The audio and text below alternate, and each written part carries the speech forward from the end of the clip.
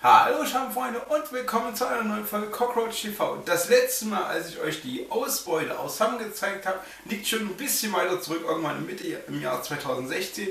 Und da habe ich mir gedacht, dadurch, dass er jetzt wieder die Terroristika ein Haben war, möchte ich euch auch wieder diesmal an meiner Ausbeute daran teilhaben lassen.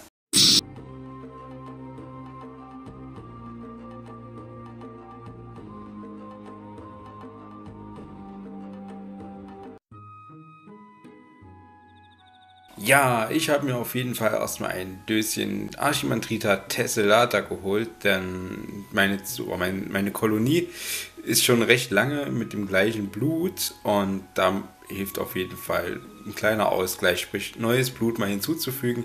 Hier zum, hier sind es ähm, zehn Stück, glaube ich. Einmal hier das adulte Männchen und zack, da ist er runtergefallen.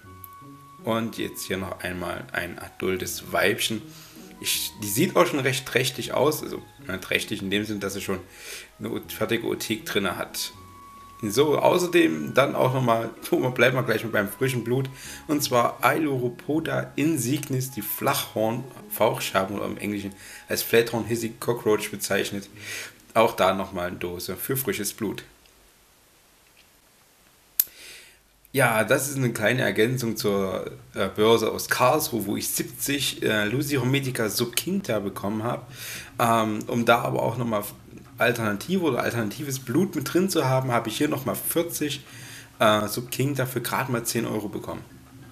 Außerdem will ich jetzt auch wieder mit der Futtertierzucht ein bisschen anfangen. Ähm, da habe ich mir jetzt nicht 100, nicht 200, sondern 300 Panclora Speck Giant geholt oder auch als Bananenschabe bekannt, die große Art. Ähm, ja, Dubias hatte ich mal eine Zeit lang gehabt, die habe ich dann abgegeben und jetzt versuche ich mich mal an die Bananenschaben als Futtertiere.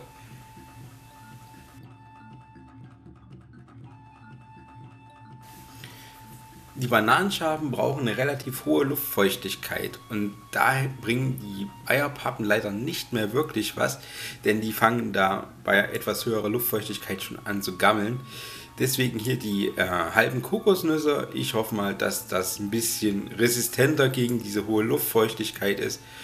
Und falls ihr Alternativen habt, schreibt es mir auch gerne nochmal unten in die Kommentare, was man dann noch so als Versteckmöglichkeit bei hoher Luftfeuchtigkeit benutzen kann.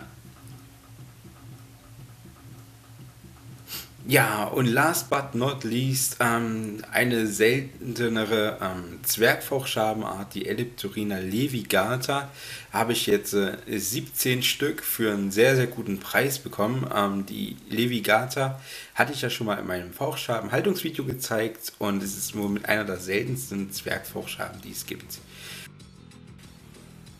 Ja, Zwergfauchschabe kann man aber auch schon fast nicht mehr sagen, denn wie ihr seht, ist so eine Levigata, ist ein ausgewachsenes Tier, schon fast so groß wie eine normale Portentosa.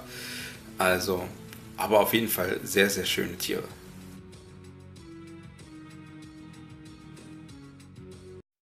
Das war es gewesen mit der heutigen Folge Cockroach TV. Wie fandet ihr denn meine heutige Ausbeute? Schreibt es mir mal unten in die Kommentare rein.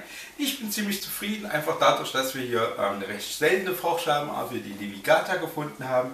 Ähm, dadurch, dass einfach meine Tiere noch nicht alt genug sind, um sich weiter fortzupflanzen. Tessellata auf jeden Fall sehr, sehr wichtig, dass da auch wieder frisches Blut reinkommt. Ähm, ja, und außerdem halt eben noch die Futtertierzucht mit den Panclora Speck Giant, ähm, den Bananenschaben. Dadurch, dass der Kalle auch einfach mit den Dubias viel macht. Und so haben wir einfach, er hat die Dubias, ich habe die Bananenschaben. So, da kommen wir uns aus manchen in die Quere und außerdem ist es auf jeden Fall eine echt schöne Art. So, außerdem ähm, sind wir kurz, ja kurz ist relativ, aber wir sind jetzt bei 220 Abonnenten, sollten es jetzt sein, zumindest das letzte Mal, als ich geschaut hatte.